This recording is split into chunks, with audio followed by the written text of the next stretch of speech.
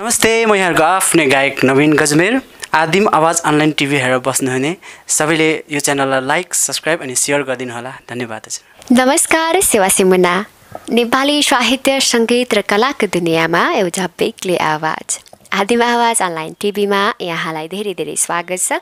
कार्यक्रम प्रश्न छ लिएर तपाईँहरूमाझ उपस्थित भइसकेकी छु म सुषमा।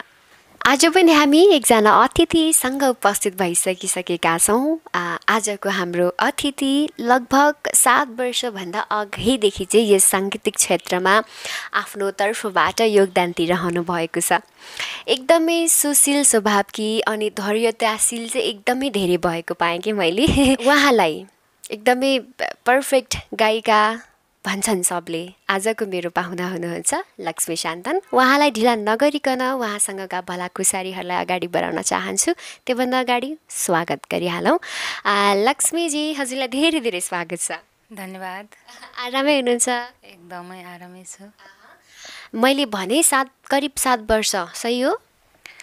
हजुर त्यही छ सात भयो। सुरुवातदेखिको हिसाब गर्दाखेरि।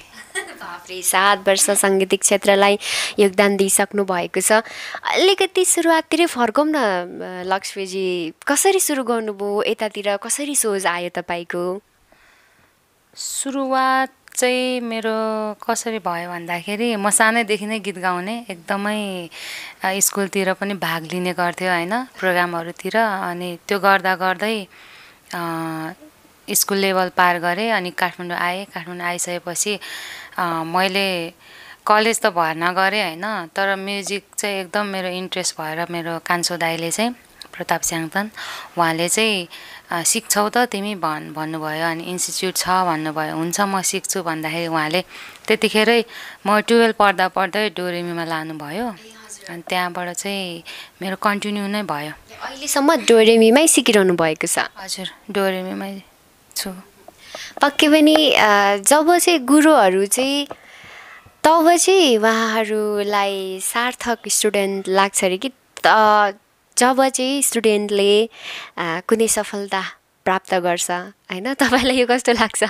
महसुस दिलाउनु भएको छ। त्यो दिलाएको छु जस्तो लाग्छ मलाई होइन? म सिक्न जब म भर्ना गरेँ त्यसको तिन महिनादेखि नै मलाई चाहिँ कोरसमा राख्नुभएको थियो कि सरले? अब कति स्टुडेन्ट हुन्छ कति वर्षदेखि आइरहेको हुन्छ होइन? र पनि मलाई चाहिँ त्यति चाँडै चान्स दिनुभएको थियो राम्रो भोकल रहेछ भनेर त्यतिखेर। अनि त्यहाँबाट नै एकदमै चान्स पाउँदै पाउँदै गयो। अनि त्यो पछि मैले गीतहरू रेकर्ड गर्दै गरेँ अनि प्रोग्रामहरू पाउँदै गरेँ होइन। अनि उसमा पनि प्रोग्राम हुन्थ्यो यो हाम्रो इन्स्टिच्युटमा पनि होइन। अनि त्यतिखेर गाउँदाखेरि अनि गुरुले चाहिँ अनि राम्रो छ भन्नुहुन्थ्यो। अनि त्यसपछि यो यो प्रोग्रामहरू आइरहेछ। अनि जाऊ भन्नुहुन्थ्यो यो यो गीतहरू गाऊ भन्नुहुन्थ्यो। अनि त्यसो गर्दा गर्दा यसपालि भोइसमा पनि अब लगभग क्लासमा नगएको थुप्रै भएको थियो होइन। अनि अनि उहाँ सरले नै कल गरेर चाहिँ अब भोइसमा जाऊ आशाजनक छ तिम्रो भनेर भन्नुभएको थियो। एकदमै। हाम्रो तर्फबाट गुरुलाई एकदमै धेरै धेरै सम्मान छ। अब भोइसकै कुरा आउँदाखेरि भोइसलाई नै जोड्न चाहन्छु। ब्याटल रामसम्मको यात्रा भएको थियो तपाईँको। विशेष त उहाँले नै तपाईँलाई जाऊ भन्नुभएको कारणले तपाईँ आउनुभयो अनि डिजिटल अडिसन दिनुभयो। अडिसन कति पटक टेक लिएर चाहिँ फाइनल गरेर पठाउनु भएको थियो। अडिसन दुईचोटि। त्यो जुन डिजिटल अडिसन हुन्छ नि त्यो चाहिँ खास त अब टेक लिनै पाउँदैन थियो त्यो होइन? डाइरेक्ट नै भिडियो गरेर पठाउनु पर्ने। अनि त्यसमा चाहिँ मैले पहिला नै एकचोटि प्र्याक्टिस गरेँ किनभने त्यो मलाई मनपर्ने गीत थियो सुनिरहेकै गीत भएर। अनि पछि अनि त्यो एक टेकमै पठाउनु पर्ने थियो अनि अगाडि प्र्याक्टिस गरेर अनि हुन्छ अहिले त्यही डिजिटल राउन्डमा गाउनु भएको गीत सुनौँ न किनभने यो त हामी कसैले सुन्नै पाएको छैन कि? कस्तो गाउनु भएको थियो होला भनेर। हस् मैले डिजिटल अडिसनमा चाहिँ आदरणीय दाई अनि दिदी मनिला सोताङ अनि उदय सोताङज्यूको गीत थियो होइन? मेरो हाल नसोध्नु भन्ने। त्यही गीत हुँ, मेरो हाल नसोध्नु। म सधैँ झै बेहाल छु। मेरो खबर नखोज्नु म सबैदेखि टाढा छु। मेरो हाल नसोध्नु म सधैँ बेहाल छु। मेरो खबर नखोज्नु म सबैदेखि टाढा छु।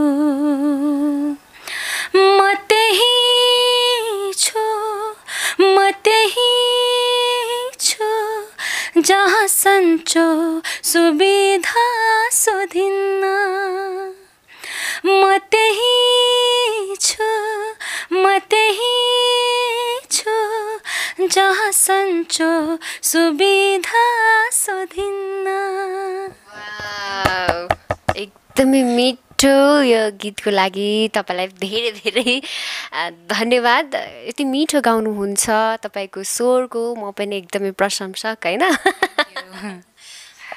अब यात्राकै क्रममा सोधौँ कस्तो रह्यो त स्टेज? तपाईँको पहिलो स्टेज त पक्कै पनि त्यो होइन। तपाईँले धेरै देश विदेशमा पनि स्टेज पर्फर्म गरिसक्नु भएको छ। तर भोइस अफ नेपालको स्टेजमा सिजन थ्रीको स्टेजमा जाँदाखेरि चाहिँ अनुभव कस्तो गर्नुभयो?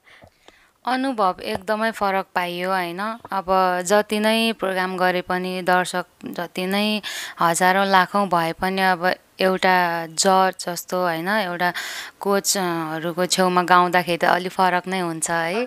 डर पनि हुन्छ। अनि बरु लाखौँ दर्शकको चाहिँ डर लाग्दैन होइन? तर जम्मा चारजना कोचहरू हुनुहुन्छ। त्यतिखेर अब यस्तो हुन्छ नि त नोट खुद खुस्किन्छ कि होइन? अनि त्यहाँ फेरि हरेक कुरा हुन्छ अनि शब्दहरू मिस्टेक होला कि भन्ने डरले पनि अलिकति फरक चाहिँ पाउँदो रहेछ। तर रमाइलो चाहिँ रमाइलो भयो।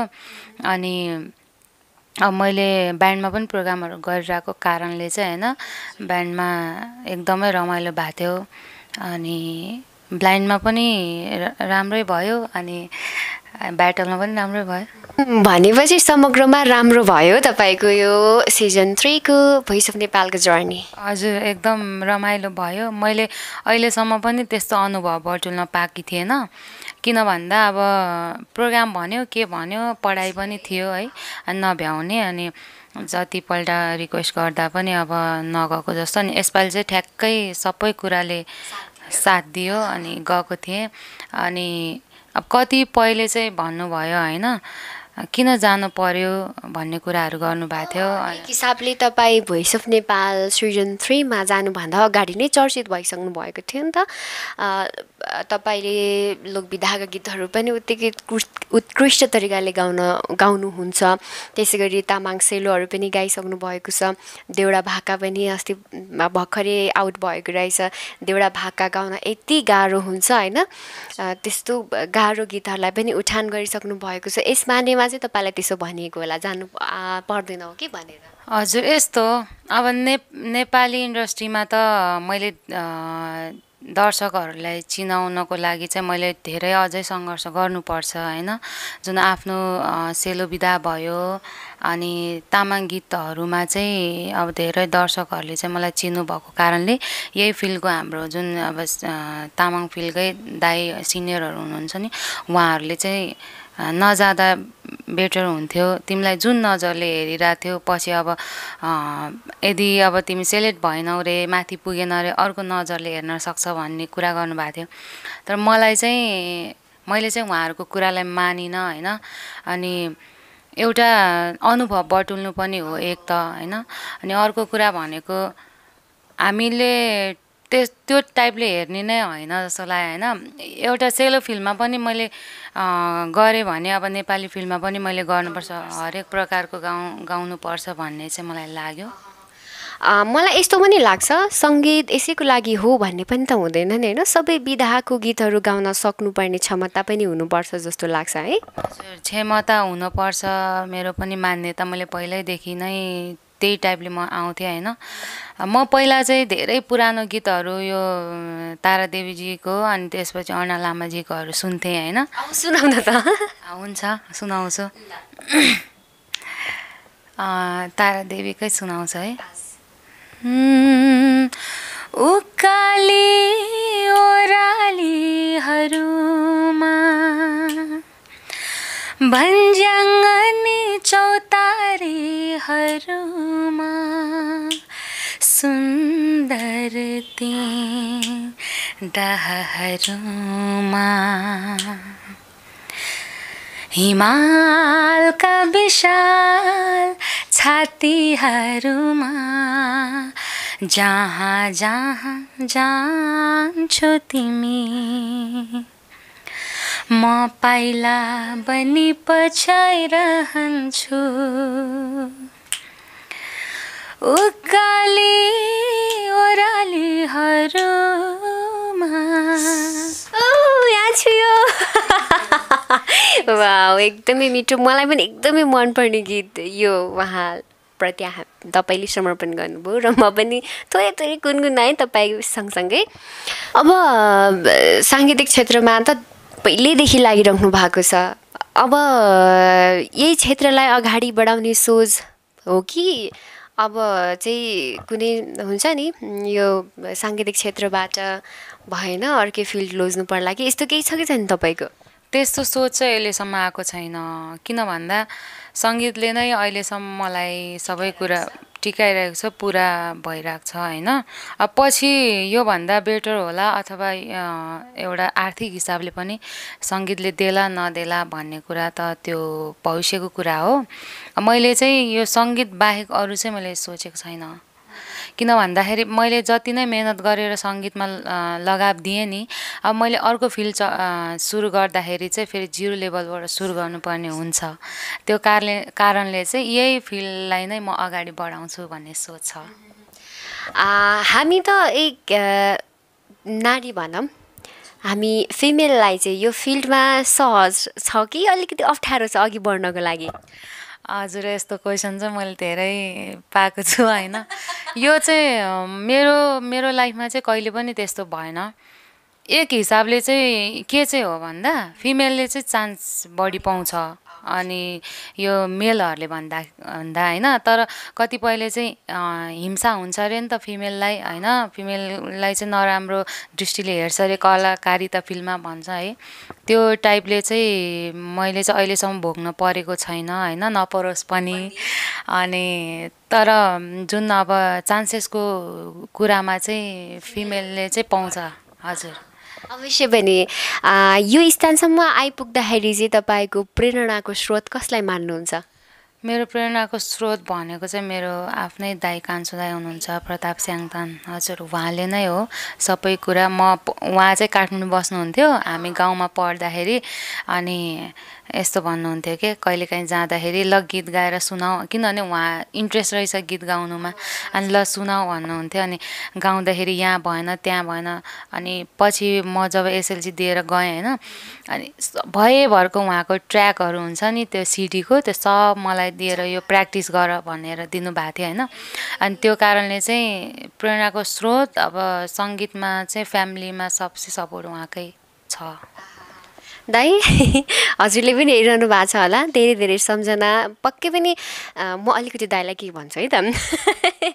बहिनीमा बहिनीभित्र रहेको कुरालाई चाहिँ तपाईँले यति मजाले चिनिदिनु भएछ। अहिले तपाईँले मात्रै नचिन्नु भएर सारा संसारले चिनिरहेको छ। यो यति ठुलो योगदानको लागि चाहिँ मेरो तर्फबाट पनि दाईलाई धेरै धेरै धन्यवाद दिन चाहन्छु। अनि परिवारमा को को हुनुहुन्छ? परिवारमा दुईवटा दाई भयो अनि मम ड्याडी। त्यसपछि भाउजूहरू अनि दिदी बिहा गरिसक्नुभयो। अनि दाईको छोराहरू दुईवटा कान्छाको प्रताप दाईको अनि जेठाको दुईवटा छोरा एउटा छोरी। छ तेह्रजना जति छ होला। सबै एकै फ्यामिलीमा बस्नुहुन्छ। अनि सबैलाई जनाले प्राय बिहे गरिसक्नु भएछ। हाम्रो लक्ष्मीजीको सुर चाहिँ के छ? हजुर मेरो चाहिँ बाँकी छ। म कान्छो परेँ नि त। टाइम बाँकी छ। अलिक ढिलै हुन्छ हो कान्छीको? ढिला भन्दा पनि दाईहरूको पनि ढिला ढिलै भएको पच्चिस कटेरै भएको हो। म चाहिँ अब तिस कटेर होला। तिस कटेपछि मात्रै लगन जुर्नेवाला हो। त्यही जस्तो छ। अब लगन जुर्ने हो भने त जुरिसक्थ्यो नि त। अब जुरेन। अब कतिको विश्वास गर्नुहुन्छ? कतिपयले चाहिँ यी सब चिजहरू चाहिँ भाग्यमा हुनुपर्छ। जुर्नेको कुरै गर्दाखेरि भागमा छ भने जुन बेला पनि हुन्छै हुन्छ भन्छ नि। म चाहिँ फिफ्टी पर्सेन्ट चाहिँ विश्वास गर्छु। किन भन्दा भाग्य पनि हुनुपर्छ एक त अनि आफूले पनि बनाउनुपर्छ। भाग्यले देला भनेर आफू चाहिँ हात बाँधेर बस्ने कुरा नि हुँदैन। तर फिफ्टी फिफ्टी मेरो चाहिँ। Fifty fifty. हुन्छ अहिले भने चाहिँ हामी मुख्य केन्द्रबिन्दुतर्फ नै ढल्किँदैछौँ। अब प्रश्न छमा आइसकेपछि छवटा प्रश्न त अवश्य पनि हुन्छ। लक्ष्मीजीलाई पनि हुनेछ। अहिलेको पालीमा चाहिँ हामी प्रश्न छ त लागौँ है त। हुन्छ अब सरसर्ती अ, तपाईँलाई मेरा प्रश्न छ रहनेछन्। सुरुवातमा चाहिँ म तपाईँलाई सोध्न चाहन्छु सात वर्ष भइसक्यो स्ट्रगल गर्नुभएको। म्युजिक फिल्डबाटै हुनसक्छ अथवा अन्य फिल्डबाट हुनसक्छ? जीवनको पहिलो तलब कति थियो? म्युजिक फिल्डबाटै थियो होइन? एउटा सानो प्रोग्राम थियो त्यो चाहिँ होटेल ओपनिङ रहेछ। अनि म चाहिँ यस्तै ट्र्याकमा गीत गाइरहेको चाहिँ मेरो ठुल्बाले थाहा पाउनु भएछ। अनि यस्तो ट्र्याक्समा गीत गाउने मान्छे चाहिँ पाएँ भने चाहिन्थ्यो एक दिन प्रोग्रामको लागि भन्नुभएछ। अनि त्यहाँबाट मैले एउटा प्रोग्राम फर्स्ट टाइम पाएको थिएँ है त्यतिखेर पाँच हजार। पाँच हजार बाफ्रे कतिपय चाहिँ हामी यहाँ आउनुभएको पर कलाकारहरूले पनि सोध्छौँ कि कसैले चाहिँ पाँच सय भन्नुहुन्छ कसैले चाहिँ दुई हजार भन्नुहुन्छ। तपाईँको त सबसे अहिलेसम्म सोधेको मध्ये धेरै चाहिँ हाम्रो ध्रुवदाईको आयो र सेकेन्डमा तपाईँको आयो पाँच हजार। के गर्नुभयो पाँच हजारले? त्यो चाहिँ ब्याड लक पनि भयो नि। मेरो जब मैले स्यालेरी बोकेर म घर गएँ अनि प्रोग्राम सकेर गएँ राति सुतेँ होइन ब्यागमै राखेको थिएँ पैसा चोरी भयो। अनि पाँच हजारको केही गर्न पाएन। म म चाहिँ फेरि धेरै जस्तो चाहिँ हजुरआमासँग हुर्केको भएर चाहिँ हजुरआमालाई केही किनेर दिन्छु अथवा उहाँलाई नै अलिअलि पैसा दिन्छु सोचेको थियो। त्यो पुरै भएन। चोरलाई पनि भनेर भन्न पनि नमिल्ने अब बिचरालाई आवश्यकता नै थियो बिचरा पनि के भन्नु चोरलाई? पैसा चोरेकै दिन चाहिँ मेरो ब्यागमा पैसा छ भनेर कसै थाहा भएको है। ठ्याक्कै त्यो हामी चाहिँ काठमाडौँमा त्यतिखेर चमती बस्थेँ अनि तल्लो फ्ल्याटमा बस्थ्यो क्या अनि ठ्याक्कै रोडकै छेउमा अनि चोर दिएछ। साह्रै ब्याड लक भएछ नि त नि। अब हाम्रो लक्ष्मीजीको छुट्नै नसक्ने चिज के छ? चिज अथवा ह्याबिट अथवा हुन्छ नि चिजहरू मध्ये। चिजहरू? त्यसो छुट्नै नसक्ने केही छैन। जाँड रक्सी चुरोट मासु केही खाँदिनँ। एकदम भेजिटेरियन हो भेजिटेरियन भइहाल्यो। अब छुट्नै नसक्ने चिजहरू? इयरिङ अथवा औँठी। होइन। केही छैन त्यसो भए लत केमा बसेको रहेन रहेछ। केहीमा लत छैन। आज आएर यो प्रश्न फेल भयो है फेल। अर्को प्रश्न सोध्छु। यदि भगवान्ले तपाईँलाई केही चिज मागेर दिने भए तपाईँ के माग्नुहुन्छ भगवान्सँग?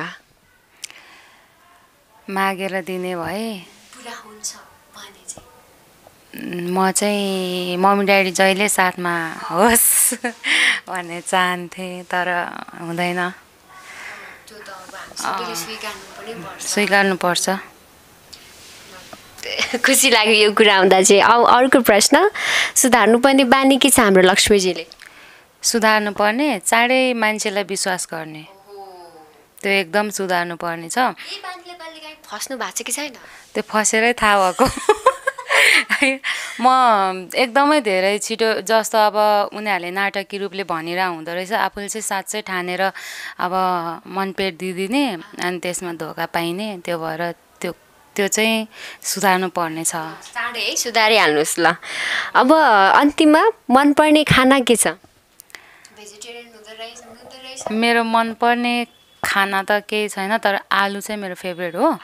आलुको चाहिँ भातको छाक भए पनि खाइन्छ अनि जे आइटम बनाए पनि आलुको चाहिँ आलु चाहिँ यस्तो हो कि सबैसँग फिट हुने तरकारी त्यो फिट हुने चाहिँ हो होइन तर कसैलाई आलु मन पर्दैन नि मेरो चाहिँ फेभरेट किन पनि मन परिँदैन भने अलिक मोटो पर्लाई त्यो होला तर म चाहिँ अब आलु जति बढी खाए पनि त्यो अनुसारको मोटी चाहिँ हुँदो रहेछ। कस- कसरी मेन्टेन नै हुनुहुँदो रहेछ।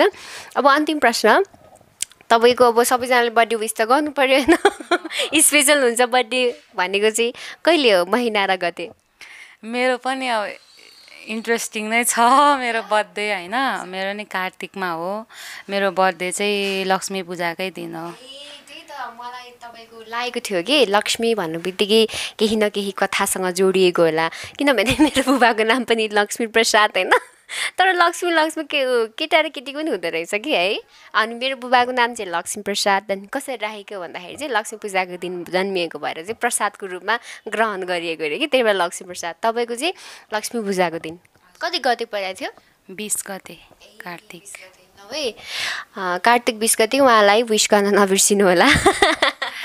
हजुर मलाई मेरो सानैदेखि चाहिँ मलाई लक्ष्मी पूजाकै दिन मनाउने गर्नु हुँदो रहेछ त्यो हिसाबले चाहिँ अब बच्चाहरूले पनि त्यही पूजाकै दिन मात्रै खोज्छ चक्लेट अनि त्यो भएर त्यो दिन दिन्छु। तर जति पनि अब फेसबुकमा विस गर्नुहुनेहरूले चाहिँ त्यही डेटमा गर्नुहोस् भन्न चाहन्छु। पक्कै पनि पक्कै पनि। अब एउटा कुनै मिठो गीत सुनाउँ तपाईँको प्रोजेक्टको हुनसक्छ कि अथवा अरू कुनै? हुन्छ। अथवा यसो गरौँ ब्याटल राउन्डको सुनाउँ। उम्, ए ब्याटलको हस्। ब्याटलमा चाहिँ हाम्रो आदरणीय दाई सन्तोष लामा अनि मेरो एकदमै मिल्ने साथी स्वेच्छा ठकुरी उहाँहरू दुईजनाको गीत एकदम लक्कीली पनि ठानेको थिएँ मलाई म त्यो गीत पाउँदाखेरि होइन सुनिरहेको गीत थियो। त्यो गीत गाउन चाहन्छु। मैले सोचेको जस्तै मैले खोजेको जस्तै तिमीमा नै बस्दैछ यो मन। मैले सोचेको जस्तै मैले खोजेको जस्तै तिमीमा नै बस्दैछ यो मन। मुटु मुटु साट्न पाए सँगै जुनी काट्न पाए। कति मिठो कति प्यारो हुन्थ्यो होला नि मेरो जीवन। हो।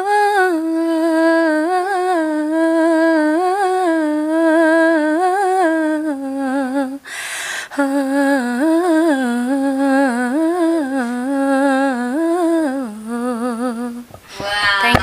you. यति मिठो आवाज छ हजुरको। थ्याङ्क यू सो मच अब यस्तै हजुरहरूको प्रतिक्रियाले गर्दा नै हामी अगाडि बढ्ने चाहिँ हौसला मिल्छ है। लक्ष्मीजीको एउटा मलाई राम्रो पक्ष लागेको के भन्नु न?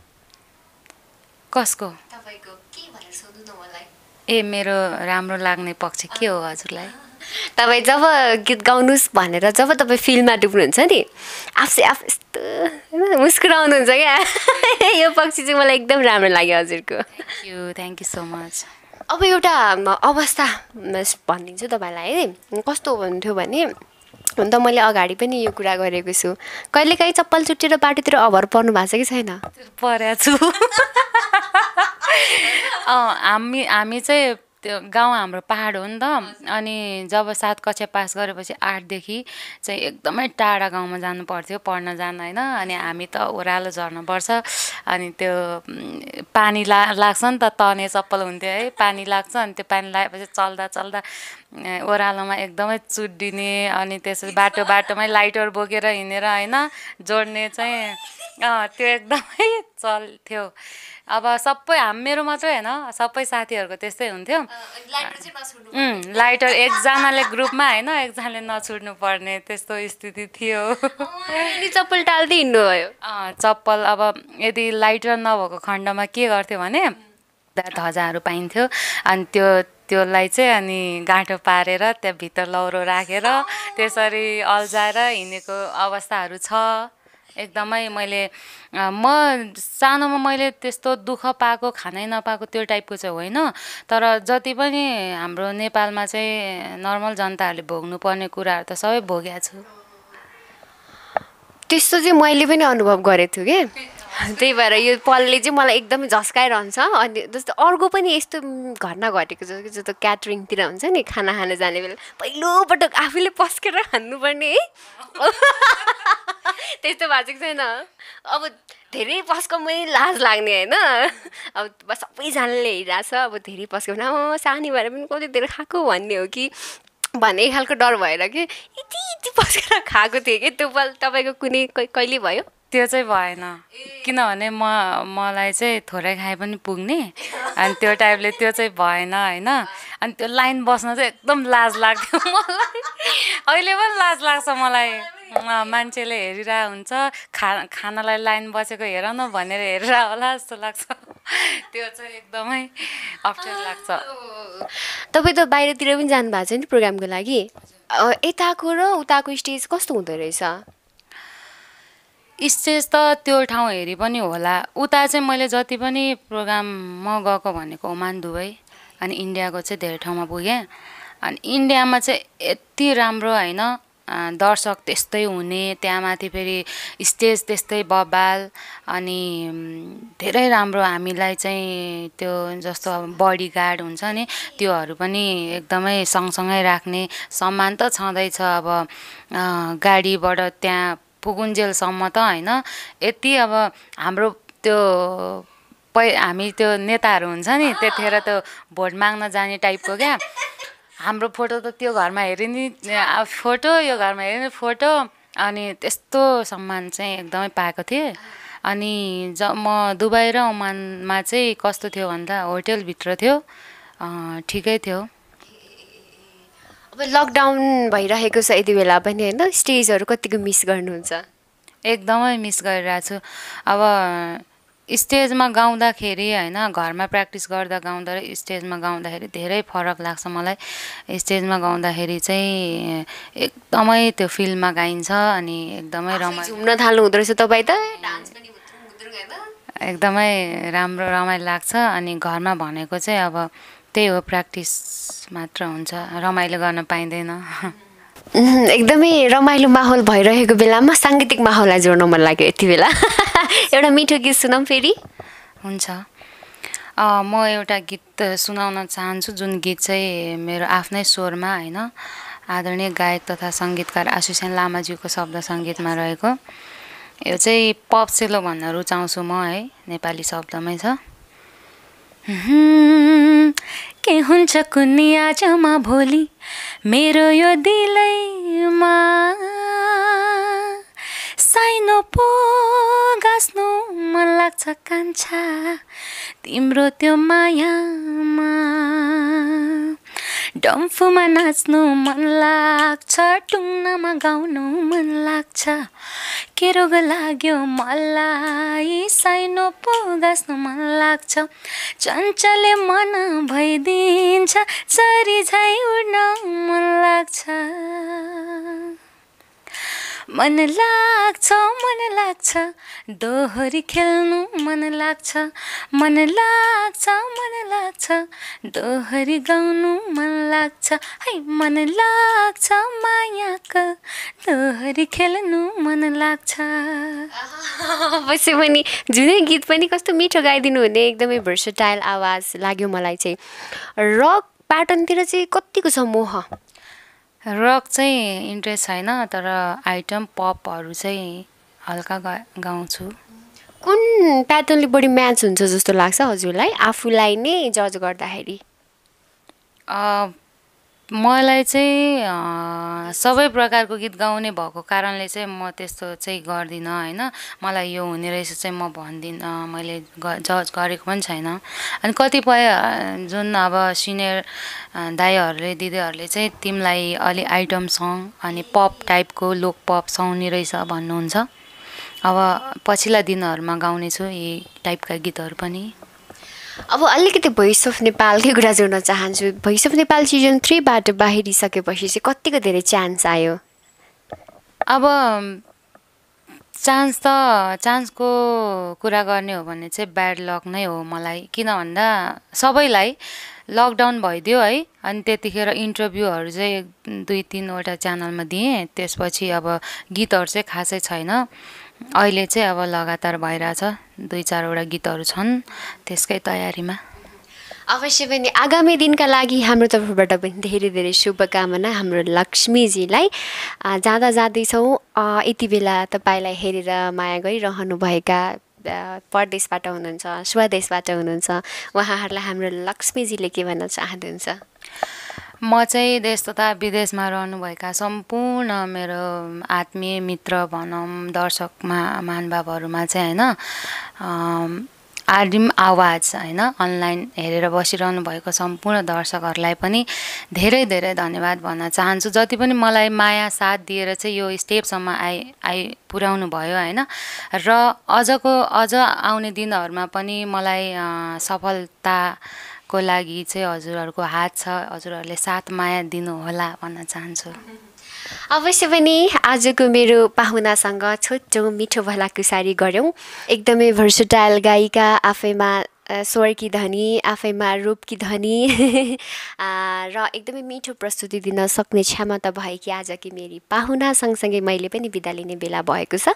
बिदा लिनुभन्दा अगाडि यो मिठो समय हामीलाई उपलब्ध गराइदिनु भएकोमा फेरि पनि मेरो पाहुनालाई धेरै धेरै धन्यवाद व्यक्त गर्दै र यतिन्जेल हामीलाई हेरेर साथ दिनुभयो। तपाईँलाई पनि धन्यवाद दिँदै आजको यस श्रृङ्खलाबाट म सुषमालाई पनि बिदा दिनुहोस्। तपाईँको बाँकी पल शुभ रहोस्। नमस्कार।